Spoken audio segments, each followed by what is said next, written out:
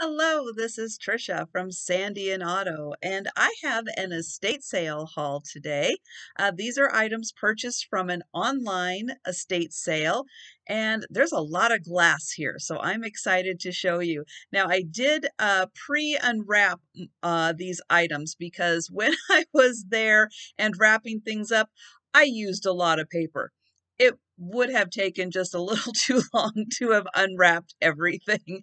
So I went ahead and pre-unwrapped it so it'll be a lot easier to show this haul.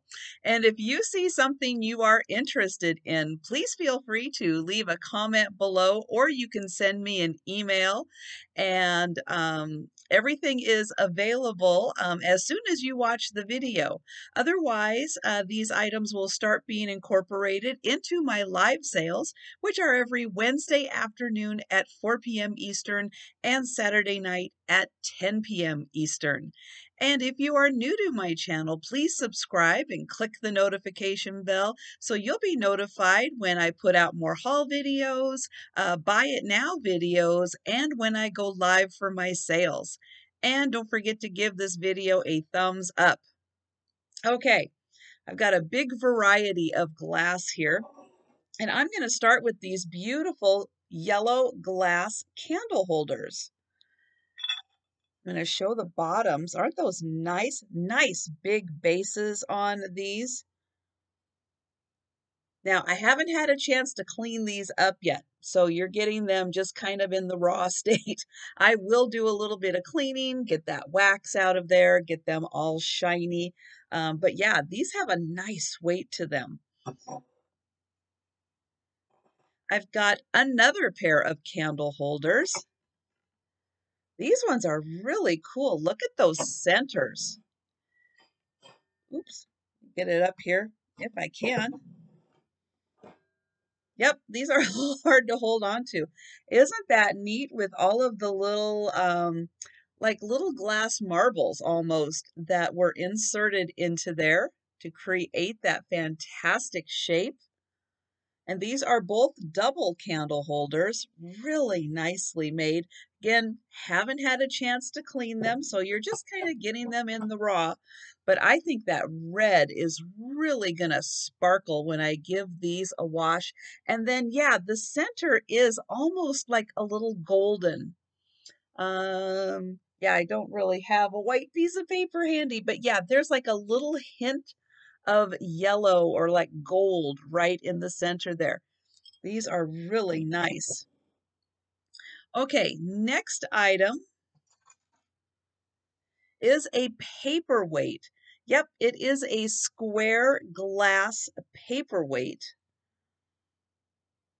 Nice base. The top is a little more slender. It does kind of taper down. And the design is painted on the back.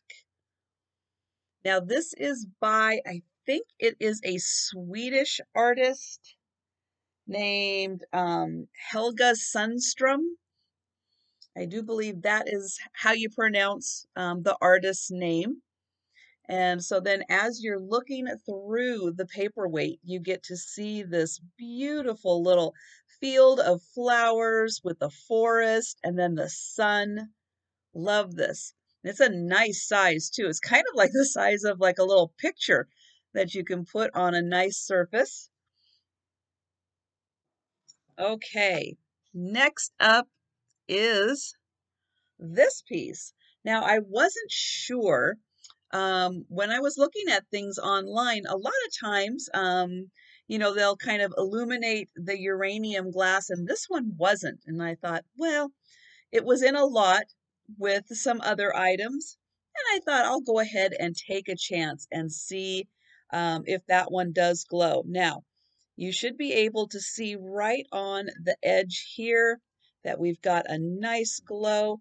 Not sure if you'll be able to see I know it's really hard. This one is not one of those um, big, wow, it's glowing kind of pieces, but it does have a nice glow. And I think you can already see just on its own that it wants to do a little bit of glowing mostly there. It is a nice banana boat shape. And I have a feeling, yeah, if you had a nice cabinet with a black light, um, if you were one of those, um, that this would really shine up in that kind of environment. Otherwise, yeah, it's got a bit of a glow. It's a nice piece of uranium glass, lovely shape. And then this does have a little bit of a base that it sits on right there. But you're going to get the most glow right on the edges here. So um, really nice. Now it does have, I will say, it was used, and so you can see again, I haven't cleaned it up, but it might have a little bit of a um, couple of surface scratches on it. Again, we'll see when I um, when I clean that up a little more. It might just be a little residue from something else. Okay, moving on to another piece of glass. This one I think is a crystal bowl. It does have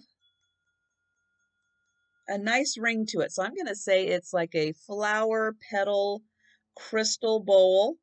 Just a wonderful little candy or nut size dish.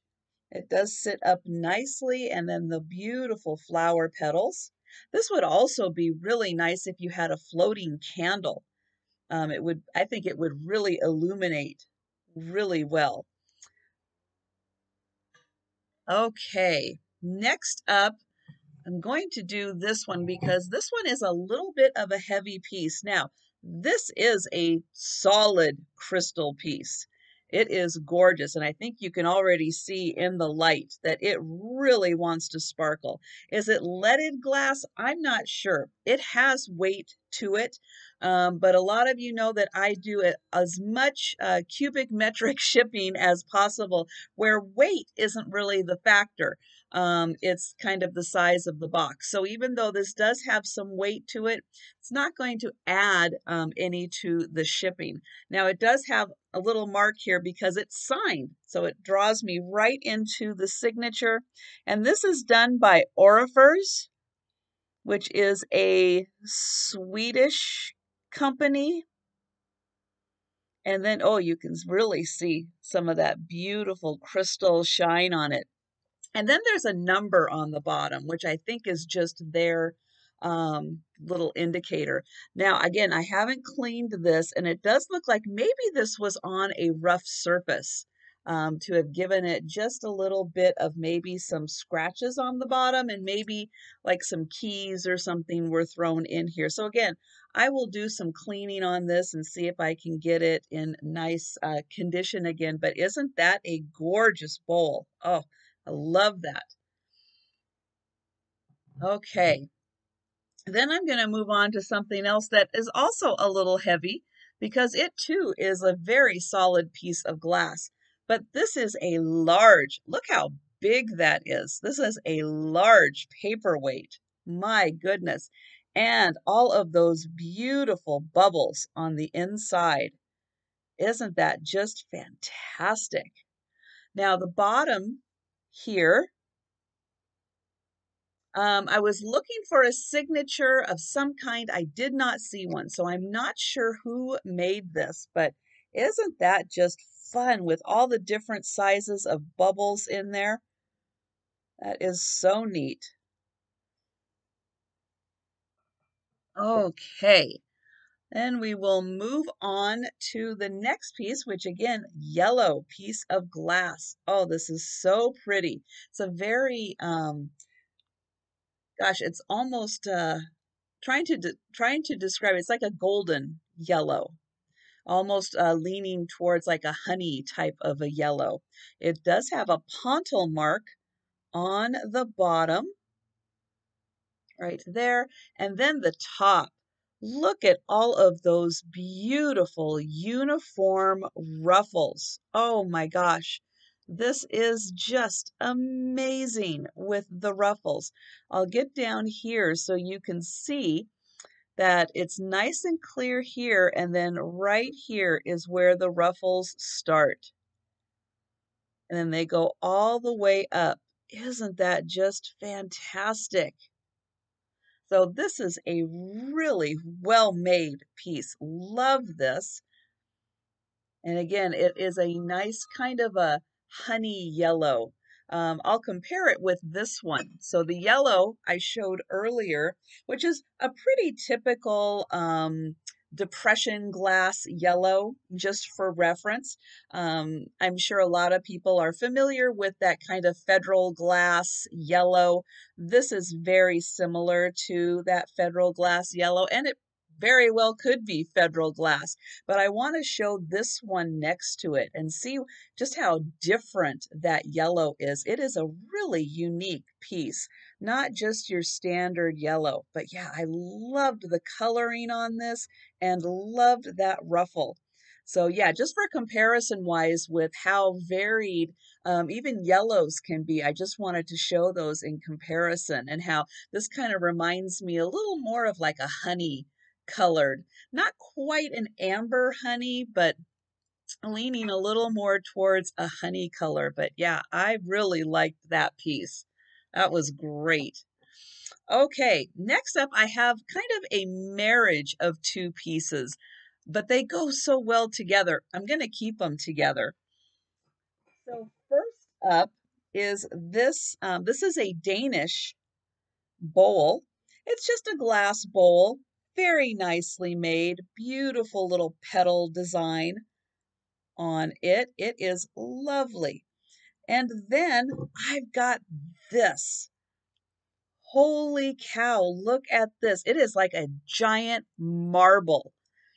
So this is some kind of a stone that has been all polished up. It is solid. It is gorgeous. Look at that. It looks like like a mocha coffee. it is so fantastic. All of the colors that are in there. And I love just how they just kind of did that random cut and just got a great variety of colors and beautifully polished. Now, there is no flat end on this marble. It really is like a marble, no flat end, like a paperweight, you know, has that flat end like this one. It's got the nice flat end there, so it can sit on a counter nicely. They are just about the same size, though, I will say. They are quite large and just about the same size. And here it is next to my head, so you can see these are really big. I'm going to put the paperweight down and go back to here. So this bowl just happens to be the right size. This fits in here so nicely. Look at that. Isn't that wonderful? And then I'll give it a little spin. It is so fun. I have to say, it is really fun to just kind of give it a spin. And yeah, so if you like little things that you can fidget with, this would be great on a counter. Give it a little spin before you head out come home, give it a little spin. it's really kind of fun to play with. And what a gorgeous design that is. Okay. Um, let me double check. I think I am to the last piece I'm going to show. And this one is really fun. Again, because you're looking at a lot of pictures and stuff, I really didn't know that it was going to be this big look at this. This is huge. Now, this is a handmade item. Oh, so for all you primitive lovers, for the gear workers, this is awesome. So this is a, um, what is this? Tom's? Um, yeah, Tom's coconut huts. I don't know what a coconut hut is, but now I really want to know what one is. I want to see a picture of one. These were one cent coconut nuts. There were 200 of them in this jar at one time. Must have something to do with a peanut. So it's Tom Huston's Peanut Company out of Columbus, Georgia. Now, somebody screwed this on top, you can see right there, and they drilled a hole and they made it into a churn. And it does work. Trying to balance this. There we go. Look at that. Isn't that cool? I just had to snatch this one up. So there's the gears right there. Oh, this is so great. I mean, this is so great. This is just so fantastic. Just the bottle itself is really cool. This is a glass bottle, very vintage glass bottle. Here is the bottom. So you can take a look at that and the numbers and everything on the bottom. And then it's got this fantastic churn on it. So this is just really awesome. Love this. Okay, so this was a really fun selection of glass. Not necessarily some of the pieces I might not have picked up thrifting, but they were together in a lot. Um, you know, several of the items were together in lots, and I said, why not? I'm going to pick those up and see what happens. But again, a nice selection of crystal and glass and just really things that I don't find out thrifting. So I was really excited to find these items. And again, if you see something you're interested in, please leave a comment below or send me an email. And um, otherwise, again, these items will start being incorporated into my live sales. And uh, thanks for watching. Don't forget to subscribe, like, comment, and share the video. And I will see you next time.